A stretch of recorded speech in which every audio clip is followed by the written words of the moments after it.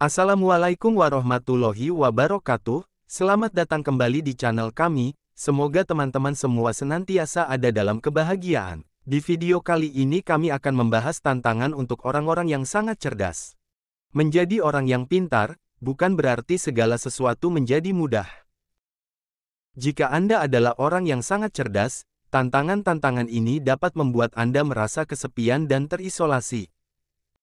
Berikut ini adalah beberapa tantangan Anda yang paling umum terjadi. Nomor 1, Anda tidak suka basa-basi.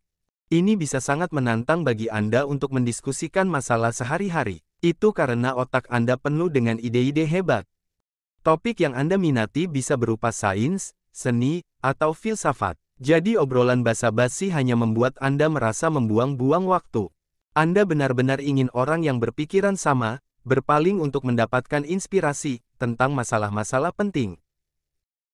Nomor 2, Anda berpikir lebih dari apa yang Anda bicarakan. Otak Anda terhubung untuk mencari semua yang mungkin menjadi solusi dan jawaban atas suatu masalah. Ini mungkin butuh lebih banyak waktu bagi orang yang kecerdasannya rata-rata untuk memberikan pendapat atau menarik kesimpulan. Ditambah, jika Anda tidak sepenuhnya yakin sudah mendapatkan jawaban yang benar, atau ide brilian, Anda tidak akan berbicara sama sekali. Kebanyakan orang di sekitar Anda tidak mengerti dengan cara kerja proses berpikir Anda. Mereka menjadi bingung dan bahkan mungkin menganggap Anda sebagai orang aneh, tertutup, atau tidak menarik. Nomor 3, Anda mudah bosan di tempat kerja. Anda kemungkinan besar akan memiliki perjuangan untuk menyelesaikan tugas sehari-hari Anda. Otak Anda perlu terus-menerus ditantang dengan ide dan proyek baru.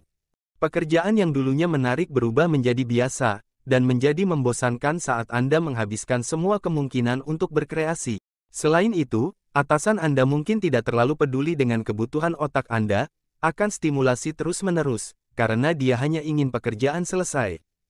Nomor 4, Anda menderita kelumpuhan dengan analisis. Terlebih dahulu Anda ingin mengetahui baik atau buruknya sesuatu, sebelum membuat keputusan. Ini sering kali dapat menghentikan Anda untuk langsung membuat keputusan. Itu karena Anda cenderung menganalisis secara berlebihan, dan membiarkan skenario, bagaimana jika, berpotensi menjadi lebih baik dari Anda. Ini mungkin juga karena Anda seorang perfeksionis, dan hanya ingin memastikan Anda mendapatkan hasil terbaik. Nomor 5, Anda canggung secara sosial, Tantangan ini datang sebagai hasil dari semua yang baru saja disebutkan.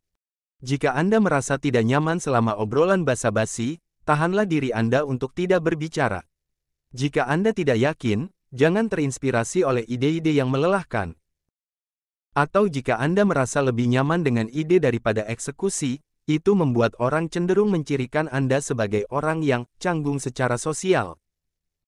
Namun, ini hanya memberi lebih banyak tekanan pada Anda, dan membuat Anda merasa lebih sadar diri tentang perilaku sosial Anda. Nomor 6, Anda merasa sulit untuk berteman. Berteman terasa sulit bagi Anda, hanya karena Anda tidak suka obrolan basa-basi atau petualangan ringan. Anda benar-benar tidak keberatan menghabiskan waktu sendirian. Tetapi, jika Anda tidak memiliki orang yang berpikiran sama atau teman mengobrol, hidup bisa menjadi sangat sepi, dan Anda akan berisiko mengalami depresi. Namun di sisi lain, Anda cenderung menemukan hiburan dalam pekerjaan Anda dan mendedikasikan lebih banyak waktu untuk membuat sesuatu yang berbeda di bidang Anda. Nomor 7, sulit bagimu untuk menemukan cinta. Anda jauh lebih berhati-hati, analitis, dan mandiri daripada orang lain. Karena itu, Anda sering cenderung disalahartikan sebagai perwatakan yang dingin dan sombong. Selain itu, Anda terkadang tidak memiliki spontanitas, yang membuat kekasih Anda merasa bosan. Nomor 8, Anda tidak bersenang-senang. Anda tidak berani menjelajahi atau mencoba sesuatu yang baru hanya karena Anda merasa menyukainya. Menganalisis, datang bermain di tempat yang sama. Anda akan memikirkan sesuatu sampai Anda benar-benar berbicara sendiri tentang hal itu. Nomor 9. Semua orang memperhatikan kesalahan Anda. Anda tidak perlu membuktikan kecerdasan Anda kepada orang-orang sepanjang waktu. Tapi, karena kecerdasan Anda, itu cukup diharapkan. Namun orang-orang akan memperhatikan setiap kesalahan kecil yang Anda buat. Ini sulit bagi orang pintar seperti Anda, karena meningkatkan rasa takut Anda akan kegagalan akan semakin mendorong perfeksionisme. Nomor 10, Anda berada di bawah tekanan untuk sukses. Anda cenderung merasa lebih unggul dari orang lain. Itu karena Anda dapat melihat dan memahami hal-hal yang tidak dapat dilihat oleh orang-orang di sekitar Anda. Anda menyadari arah yang dituju hidup Anda, dan itu harus menuju ke arah yang berbeda dari orang lain. Itulah 10 tantangan bagi orang-orang yang kecerdasannya di atas rata-rata. Semoga tayangan ini bermanfaat. Terima kasih dan sampai jumpa.